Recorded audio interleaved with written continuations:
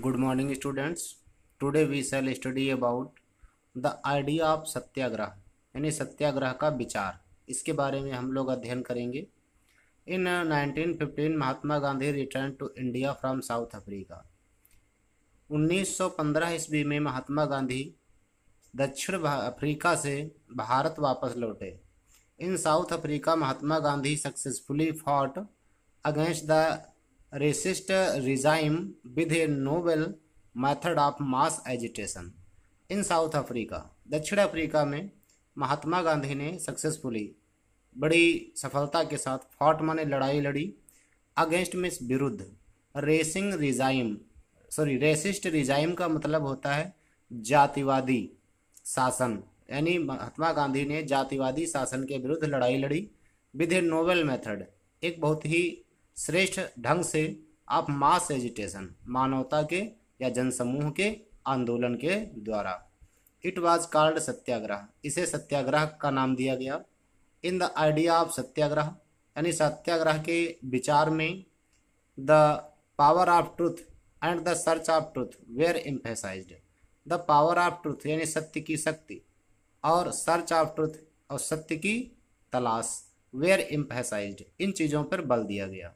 It means if your cause is noble इसका अर्थ यह है कि यदि तुम्हारा कारण श्रेष्ठ है and your struggle is against injustice और तुम्हारा संघर्ष अन्याय के विरुद्ध है then there is no need of physical force to fight the oppression then तो देयर इज़ नो नीड कोई आवश्यकता नहीं है आप फ़िज़िकल फोर्स यानी शारीरिक बल की टू फाइट द ऑपरेसर अपने विरोधी से लड़ने के लिए आपके शारीरिक बल की कोई आवश्यकता नहीं है।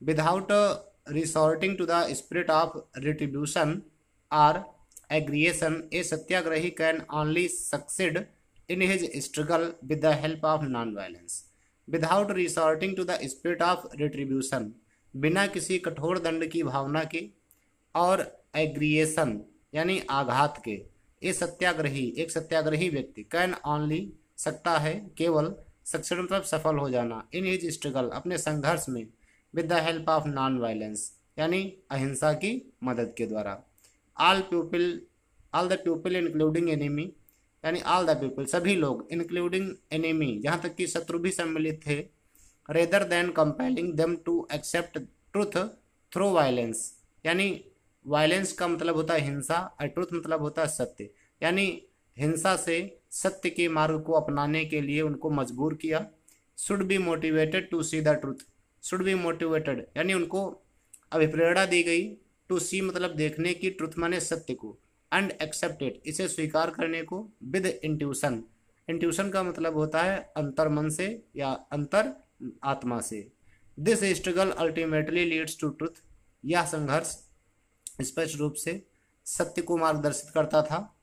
Gandhi ji believed that this path of non violence can be tied to all Indians in the form of unity Gandhi ji विश्वास करते थे कि यह अहिंसा का मार्ग कैन बी टाइड बांधेगा ऑल इंडियंस माने सभी भारतीयों को इन फॉर्म ऑफ़ यूनिटी यानी एकता के बंधन में। Gandhi ji view on satyagraha was Gandhi ji का सत्याग्रह पर विचार था, satyagraha is not physical force सत्याग्रह किसी शारीरिक बल का नाम नहीं है या शारीरिक बल के लिए सत्याग्रह नहीं है। ये satyagraha neither hurt is enemy सत्याग्रह जो है, अपने शत्रु को भी नहीं चोट पहुंचाता है। Nor he wants to destroy his enemy और ना ही वह अपने शत्रु को नष्ट करना चाहता था। There is no place for malice in satyagraha. There is no place कोई स्थान नहीं है। फॉर मेलिस मतलब ईर्ष्या द्वेष के लिए। इन सत्याग्रह मतलब सत्याग्रह। सत्याग्रह आंदोलन में किसी के प्रति ईर्ष्या द्वेष की कोई भावना नहीं है। तो ये रहा आइडिया ऑफ़ सत्याग्रह सत्याग्रह का विचार। Rest for next day thank you